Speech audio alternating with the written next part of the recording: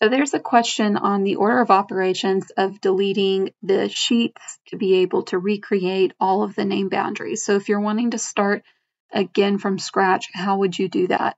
So here I already have three, um, two sheets, three drawing models created from the name boundaries, and I want everything to be removed. And how do I know the order? So you're just going to go backwards the order in which it was created. So these were created last, so you'll just come into your models and select them all and delete. And yes, I do want to delete them.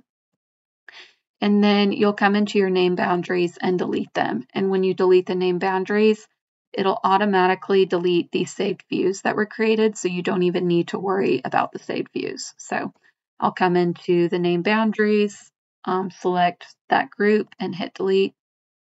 Um, and it says are you sure you want to delete the name boundaries along with the save views? So you can see that it's going to be deleting those as well. I'll click yes, and you can see that it was removed. And now you can uh, start creating your name boundaries again.